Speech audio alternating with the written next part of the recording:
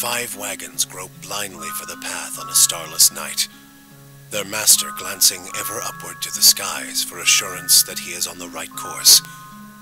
A dim lantern his only protection against the encroaching darkness.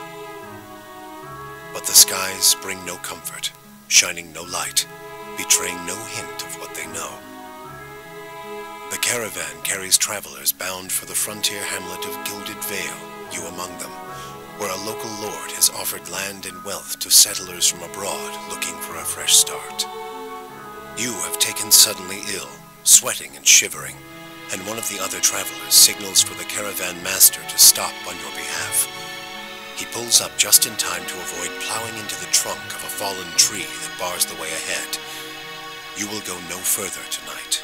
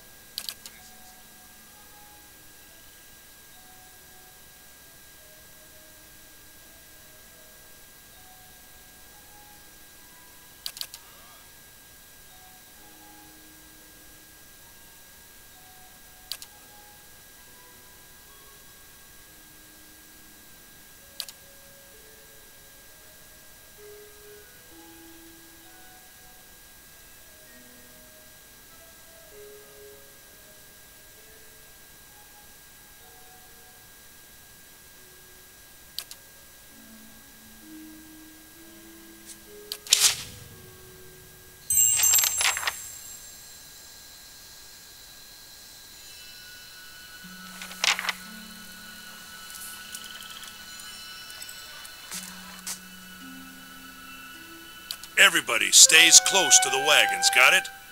Stay out of the woods, and beasts take you if you were planning a stroll through those ruins up there.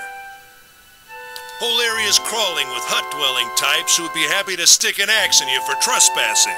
So mind that you don't track mud on their sacred blazing rocks. Tonight, everybody stays put, and in the morning we'll get the path cleared. Gilded Vale's less than a day out. Understood? Touch of the rumbling rot, could be. There's a stinging beetle round here, carries it.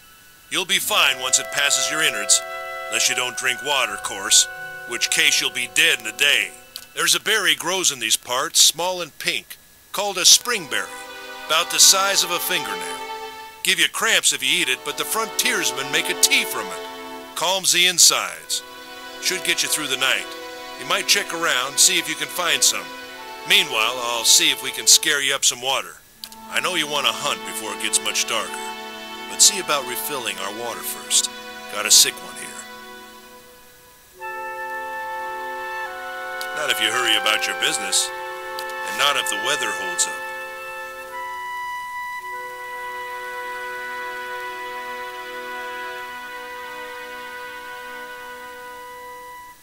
This time of year, rain mostly, and wind.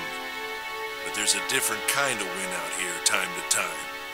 Locals call it a Biawac, born out of the ether, the spirit's path. Never seen it myself, never cared to. Hold on, take someone with you.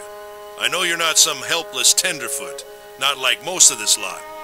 But you drop dead, I don't want to be looking for the body. Got a schedule to keep. Calisca. Calisca! He needs to find some springberries. Watch that he doesn't drop dead. No promises. What kind of guide says something like that? Kind you can afford. Don't listen to her. You're in good hands. And I pay too well, if anything. Off with you. Heodan should have supplies. See that you're equipped before you head out. We're in harsh country. Get your... You heard the man. Let's get going before you keel over. Right.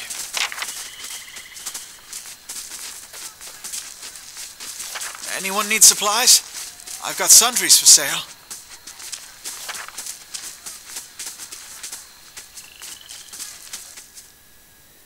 Brought a whole wagon full of goods to sell, but not enough shirts for the road. Say, is there anything you need?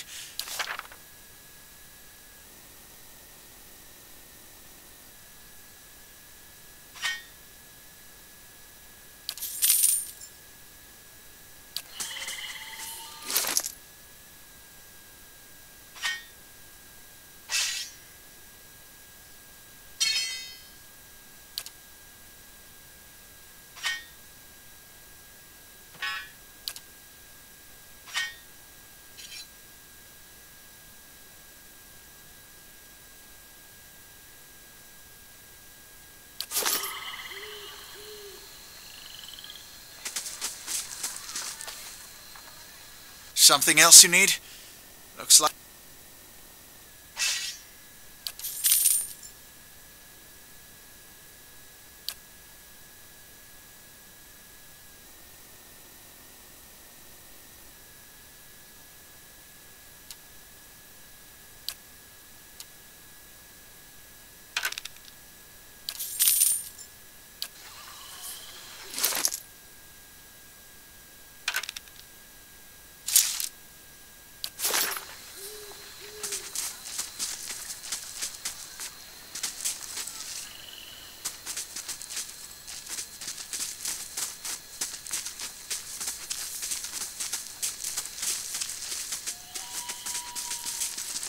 Let's check by those outcroppings.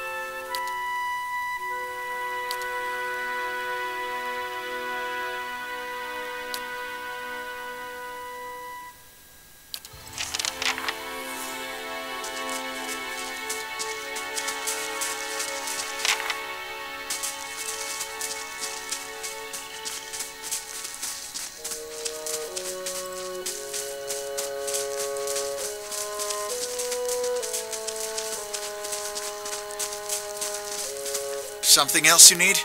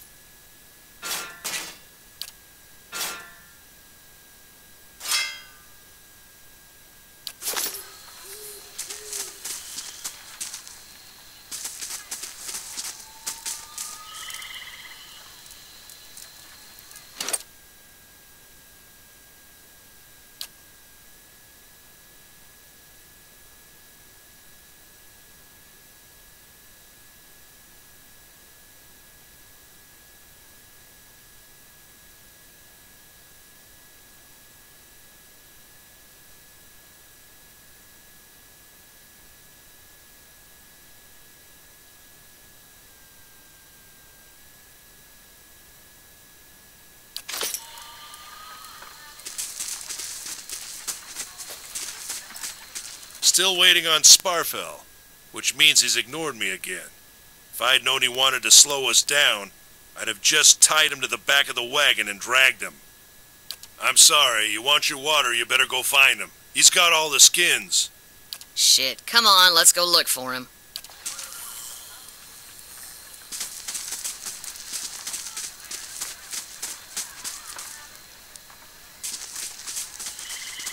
Something else you need? I'm a trader, originally from the Aedyr Empire, but I've been trying to establish new business out here. Life on the road has brought some unexpected challenges, to be sure. And I'm sure you've noticed how prickly the locals can be. But we're here to make the most of things, right?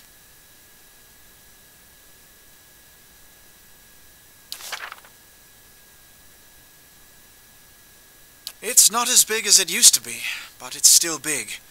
The mainland is a continent northwest of here, but the colonies used to include Readceras and the Dyrwood. About 150 years ago, Dyrwood won its independence from the Empire, a fact our companions are quick to remind me of.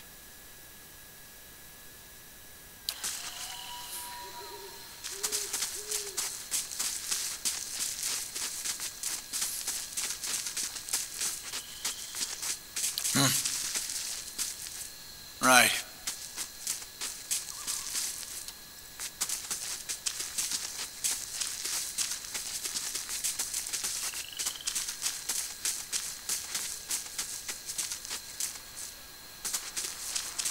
We shouldn't stray too far.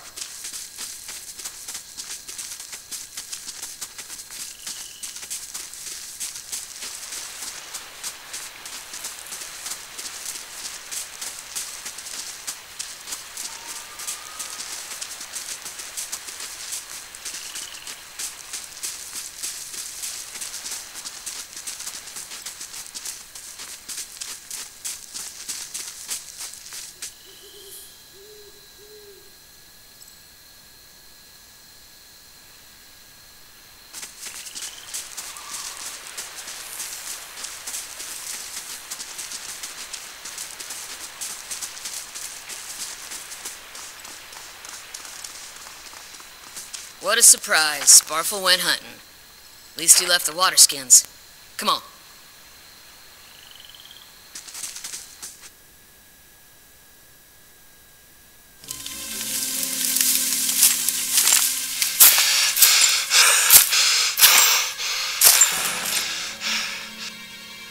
Sparfel, are you all right?